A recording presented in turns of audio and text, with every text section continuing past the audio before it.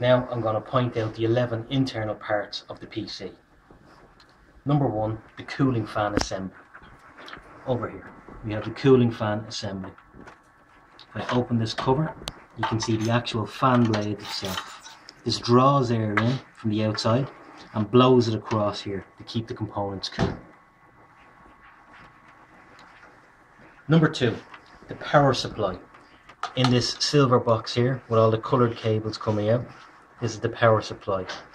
This takes our 230 volts AC mains, steps it down, transforms it, rectifies it into much lower voltages, say 12 or 5 volts DC, because all our electronics components inside the PC work off low voltage DC. Number three, the heatsink, CPU heatsink this metal piece here. Basically that is a radiator that will suck the heat off the CPU chip and dissipate it into the air, cooling it down. It's very important to keep the CPU cool because heat will damage electronics. Number four, the CPU itself. Can't see it at the moment. It's hidden underneath here in the underneath the heatsink. The CPU is the central processing unit. It's where all of the calculations that are done on the PC take place. It's probably the single most important part of the PC. It's your Pentium 4 or your dual core or your triple core processor. Number 5 is the sound card down here with these two cables going into it. This is our sound card. This is where you plug in your speakers, your microphone, anything to do with the audio system of the PC gets processed in here and sent around in the different parts of the PC. Number five then is our video card, just sitting on top here. The video card is responsible for all the images that are displayed on your screen. It's where you plug in your monitor or your projector, wherever it is, just to display the images. Here's our video card.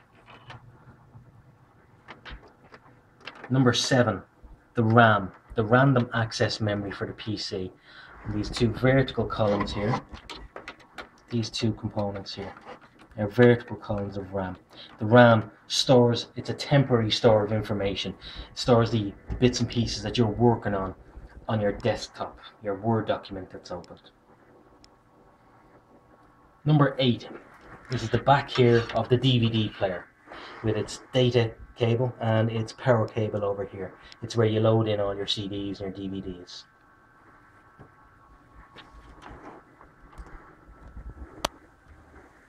Number nine, if your PC still has one, it's probably outdated at this point, but hidden in the back here is our floppy disk drive, again with a data cable and a power cable over here, this silver unit here.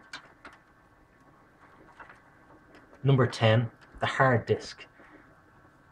This is where all your operating system is stored. It's a permanent store of memory. Um, doesn't lose its memory when the power is switched off. So we have a data cable and a power cable going into it here, our hard disk. And then lastly, number 11 here, our motherboard, this large green board mounted onto the case.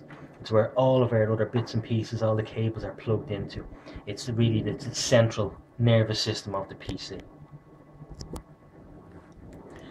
Those 11 components are the internal parts of a PC.